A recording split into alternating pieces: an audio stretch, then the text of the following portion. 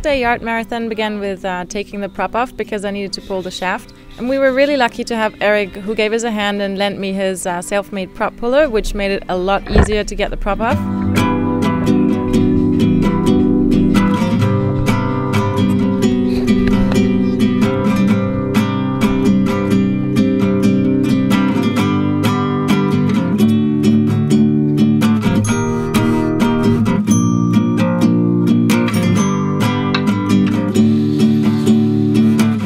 Maria still had to heat the prop up a little bit before the beast finally came off.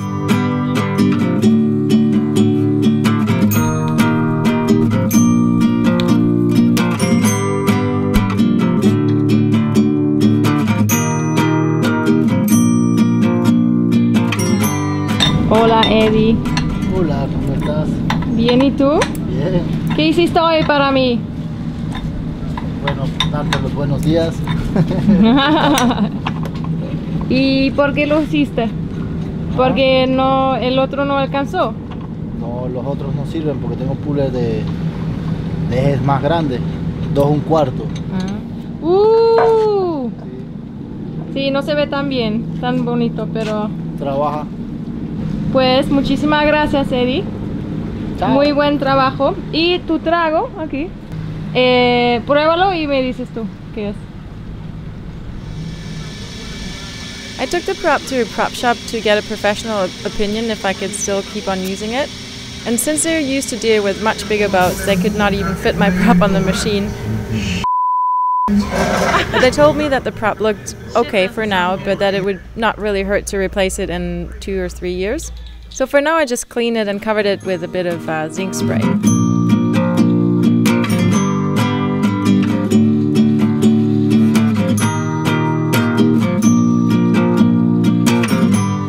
Back at the yard, we took out the shaft with a massive uh, pipe wrench, which found a permanent spot on Karl after doing its duty.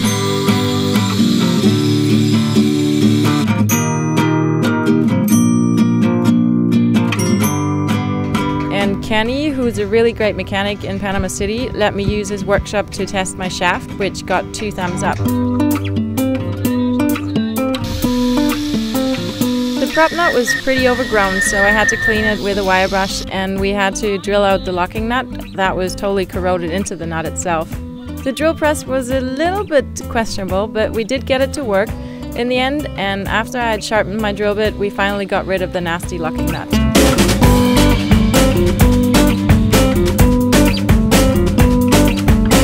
Since you don't have your prop shaft, your prop and your prop nut out of the water all the time, I took the opportunity to measure all the parts and to write them down to have them available for any future replacement orders. And I also tried to measure the pitch of my prop, but I think I got a little bit lost in translation when it when I was reading the instructions online.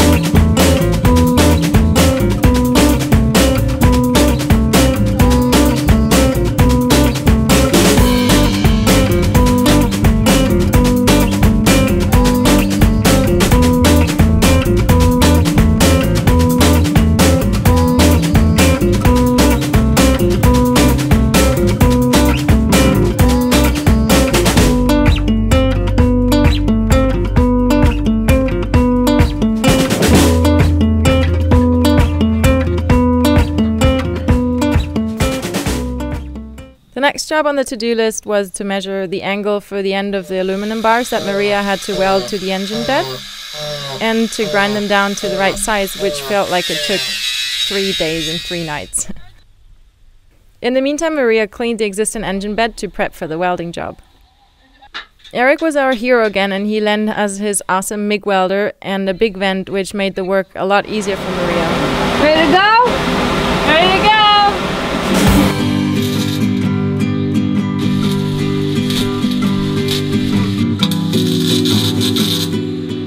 Though I have a big engine room, Maria was all squished inside and had to do the welding in a challenging position. But she did a really, really great job, and Karl is nearly ready to be connected to Big Red now. Ooh, there's a little barbecue going on.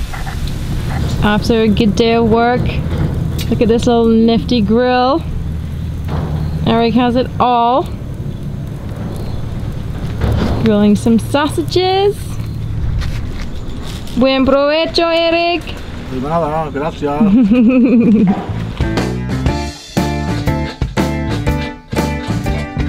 For some reason, Karl has two cutless bearings in the stern tube, which doubled the amount of annoyances for us because they were really, really difficult to remove.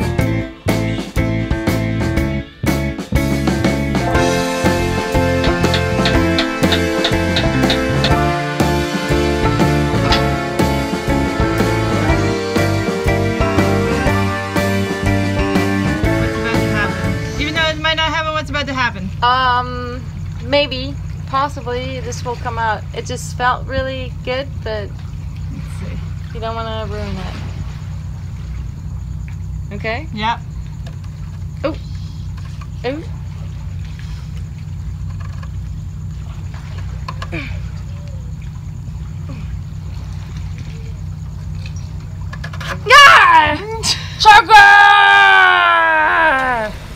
After a lot of sweating and swearing and some encouraging strong beverages, we finally got the little buggers out around 2 a.m. at night.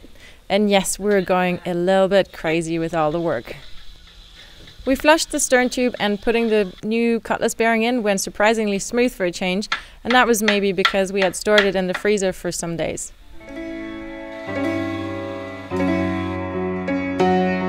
Whenever we found some time in between jobs and the tide would allow us, we gave Karl's belly a layer of paint which made him look all spiffy again.